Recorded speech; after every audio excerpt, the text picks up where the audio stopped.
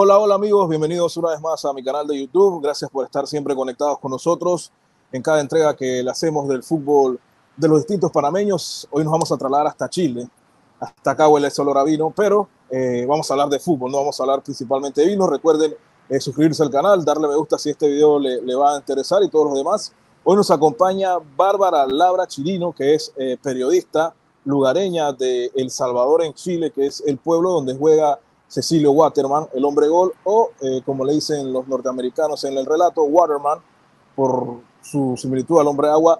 Eh, Bárbara, un placer que estés con nosotros. Hace tiempo estaba tratando de buscar un periodista, una periodista chilena deportiva, pero que fuese de mismo del lugar, porque hay bastantes y, no me podía convencer. Un abrazo, Bárbara, ¿cómo andas? Hola, Alex, eh, muchas gracias por la invitación. Eh, acá todo bien, desde El Salvador. Eh, para contarte sobre el paso de Cecilio Waterman por nuestro club. Antes de, meternos en el, en el, tema fútbol, háblame de qué es El Salvador, dónde está ubicado El Salvador en Chile, eh, qué tipo de territorio es, hasta donde pude ver es un desierto, cae hasta nieve en cierta temporada. Háblanos, ilústranos un poco de, de, qué es El Salvador, donde juega el Cobresal de Cecilio Waterman. Bueno, El Salvador es eh, un, una ciudad que está ubicada en la región de Atacama, en Chile, Estamos a más de 2.600 metros sobre el nivel del mar. Eh, tenemos un clima eh, un poco extremo, como tú dijiste, calor y a veces cae nieve.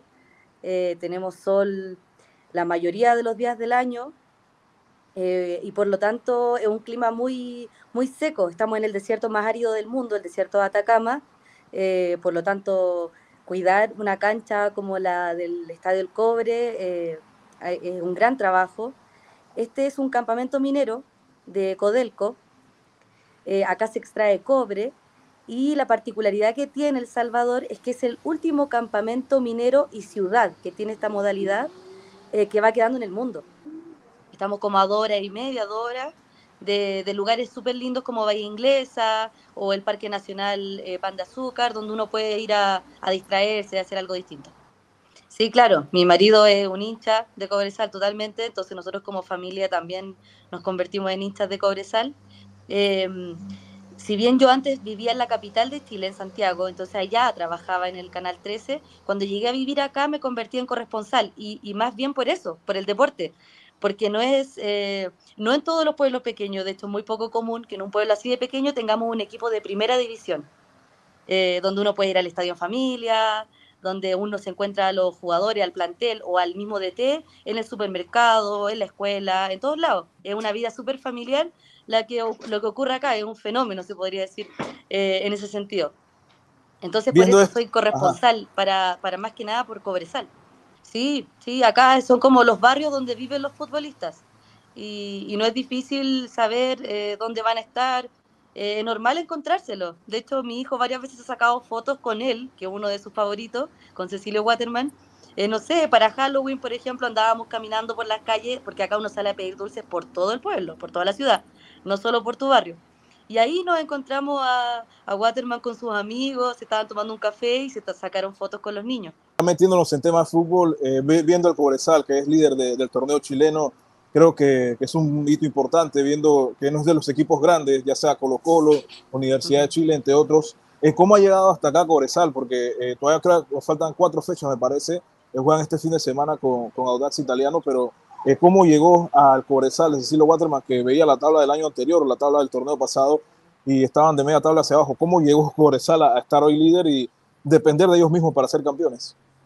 Eh, bueno, yo creo que tiene mucho que ver con el trabajo del equipo, eh, del mismo DT, Gustavo Huerta. Él ha planificado muy bien la campaña de este año eh, y, y, la familia que se forma en el equipo. Siempre se destaca eso acá, que los jugadores se tienen a ellos mismos para reunirse y se vuelven una familia. Y si hay buena química en camarines, eh, se demuestra en la cancha el trabajo que hacen, muy tranquilo, uno se va al estadio 10 minutos antes, puede ser 5 minutos antes que empiece el partido incluso, otros se van antes, pero uno puede llegar caminando, es muy familiar, es muy normal acá que vayamos con los niños desde pequeños, los niños juegan mientras nosotros estamos viendo el, el partido, eh, algunos incluso tienen la suerte de poder entrar a la cancha y sacarse fotos con los jugadores cuando ya termina todo. Eh, como te digo, es muy familiar, se da mucho la, la vida de comunidad acá en Salvador Entonces es muy cercano el equipo. Hace poco se hizo una actividad de Cobresal, fueron los jugadores a la escuela eh, y visitaron a los niños, se sacaron fotos, eh, firmaron autógrafos, camisetas. Eh, también fueron a la mina, también estuvieron con los trabajadores de, Codelco. Y, con respecto a, cómo han, llegado a estar en, como punteros del campeonato nacional, se han mantenido durante casi las últimas fechas, ya estamos en puntero y, y ha sido, como te digo, un trabajo en conjunto. Y bueno, Cecilio Waterman, que por supuesto se ha destacado este año también, eh, uno de nuestros goleadores, eh, que ha tenido también su, ha tenido que partir eh, por su selección a Panamá, ¿cierto? pero nosotros siempre contentos de, recibirlo, él, es muy cercano con la gente también, es muy agradable. Sí, eso es lo que te iba a preguntar. sé que, bueno, Waterman está, ya pasó la fecha FIFA, Waterman, estuvo, Waterman anotó contra Costa Rica y y vi que publicaron el gol en la cuenta de Cobresal y algunas personas eh, dijeron, eh, bueno, ojalá traiga esos goles acá porque parece que Waterman ha entrado en un bache donde no ha anotado y más allá de que acá en Panamá no, no llegan las señales de los partidos de la primera división chilena, puede notar eso. Waterman tiene seis o siete goles en, en Cobresal la temporada, me parece, estoy tan seguro, pero creo que acá hay un bache. ¿Cómo lo has vivido tú en esa parte? Nueve goles, entiendo que tiene en esta temporada. Eh, eh, claro, sí, últimamente quizá ha costado que salga un poco el gol de Waterman, eh, pero no tenemos que tener memoria a corto plazo. Él ha hecho una súper buena campaña, ha sido un goleador. Quizá es un poco como este nervio, esta ansiedad que tienen los hinchas, que tenemos, eh, quizás por, por ganar y por mantenernos en, como punteros, pero hasta ahora seguimos punteros y hay que, hay que seguir ganando para, para lograr ser campeones nuevamente por segunda vez, porque hasta ahora Cobresal solo ha tenido una, copa del campeonato nacional. Ok, bueno, ya viendo, viendo esta situación, eh, para que no hagas el recuento, ellos juegan el, sábado con... El fin de semana pasado jugaron con Audax italiano acá en El Salvador. ¿O es con Aucas? ¿No es con Aucas? Es juegan con O'Higgins de Rancagua y juegan de, de, visita. Entonces, ya viendo, viendo este, este panorama, eh, ¿cómo lo ves tú, Bárbara, tu perspectiva como periodista, como hincha? Eh, ¿Crees que el equipo puede hacer la hazaña de salir campeón nuevamente o, o hay equipos que están ahí, porque vi que en los puntos en la tabla están bastante apretados, ¿no? Sí, sí, estamos apretados ahí con Guachipato, Colo Colo, pero mm, eh, no, obviamente siempre hay que estar optimista de que tu equipo lo va a lograr. Si hemos hecho toda una campaña en los últimos meses que nos ha ido bien, ¿por qué vamos a, caer ahora? Sin embargo, hay que reconocer que O'Higgins es un equipo eh, de cuidado porque vamos a jugar de, de visita, quiere decir que vamos a jugar allá en la casa de ellos, es el clásico minero, porque O'Higgins de Rancagua también allá pertenece a la minería, tiene que ver, entonces em, eh, creo que muy pocas veces hemos ganado allá de, visita. está difícil. Sí, bueno, sí, eso lo quería ver, ¿no? porque eh, viendo la plantilla de Cobresal Bárbara comparada con, con la Universidad Católica, Colo Colo, Huachipato, Atofagasta, que también hay otros panameños, por lo menos Gabriel Torres jugó ahí, Armando Cooper, eh, en cómo está valorada la plantilla de Cobresal. ¿Es una de las plantillas eh, más caras del torneo o es una plantilla modesta pero que tiene talento suficiente para que pues siempre reina el dinero, ¿no? En todas partes del mundo donde hay el dinero, pero no siempre es así porque a veces puedes tener una buena plantilla y, y el equipo no te, no te resuelve. ¿Cómo es esa parte? El, lo último que dijiste, es, una, es un plantel más bien, eh, uno de los menos, menos caros de, del campeonato nacional. Eh, imagínate, como te decía, es un pueblo pequeño, que tenemos un equipo de primera división, eh, a muchos les debe molestar que estemos punteros, porque hay otros planteles que quizás eh, con el sueldo de un jugador se le paga aquí a todos los de Cobresal.